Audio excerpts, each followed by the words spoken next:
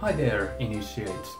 Everybody loves cat videos, so it's about time for me to make a cat video of my own. That video is of course about Milla the cat. Oh, don't forget to put subtitles on.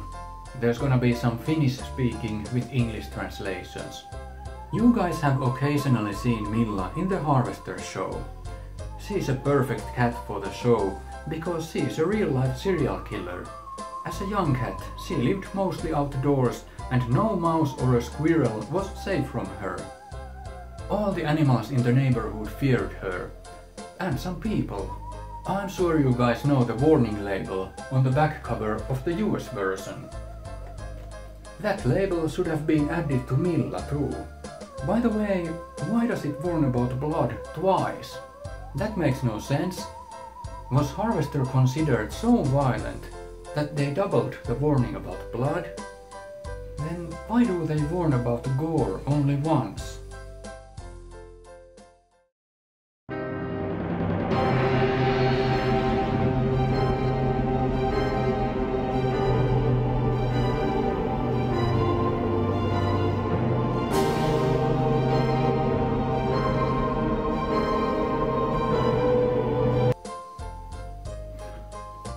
An important question.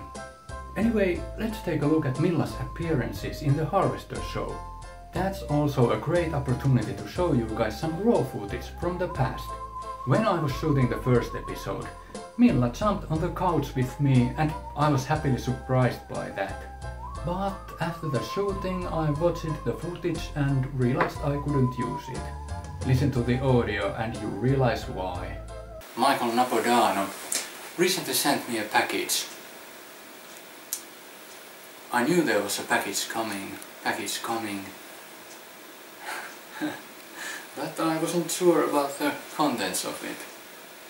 So I bought a separate microphone, not this one, and shot the first episode again. And again Milla joined me. Because if you like this one, then I'll make more.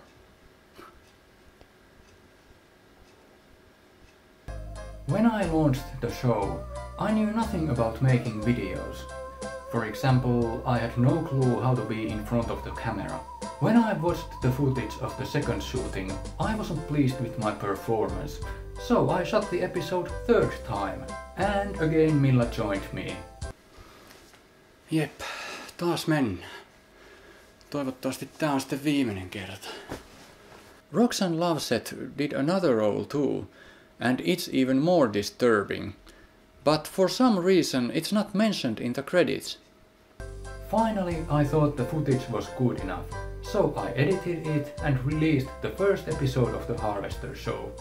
After that, it was time to shoot the second episode.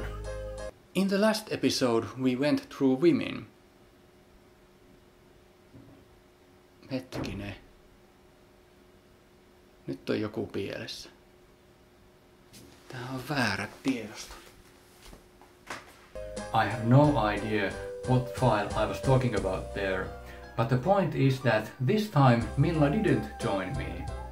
Same thing happened when I was shooting the third episode.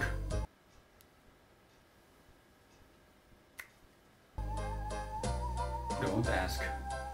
When I was shooting the fourth episode, Milla decided to join me again. Building where Harvester was born. Yeah, right. She also joined me many times when I was shooting the fifth episode. For example, she ruined my conversation with Mr. Pastorelli.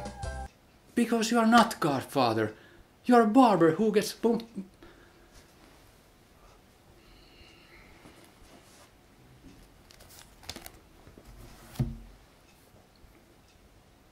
In the sixth episode, she didn't join me on the couch, but you can still see her. Take a look at the back of the monitor. There you can see Milla's reflection. And you decided to revamp and you decided to revamp an existing game. And you decided to revamp an existing game. Yeah, I had to read all the lines many times to make it work. This line too. When I started to shoot the seventh episode, Milla was already there on the couch waiting for me.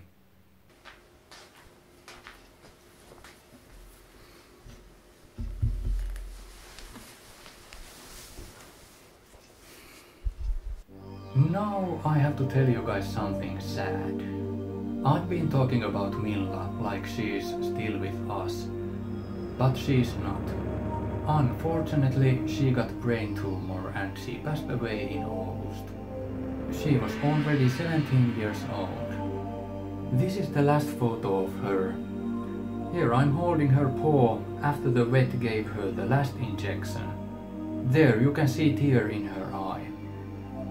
When I was shooting the 8th episode of the Harvester show, Milla joined me for the last time in the history of the show. It's not so different from the screen we just saw.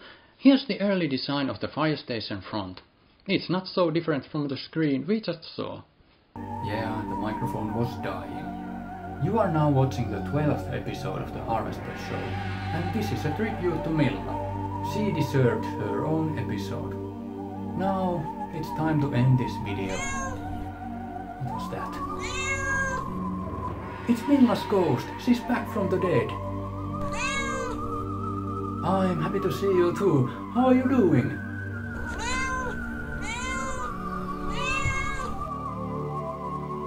So you are ruling in hell these days. That's my cat. I'm so proud of you. Oh, you have to go already. Well, tell my regards to Satan. Milla had a long and awesome life, and she continues living in my memories. Maybe in yours too.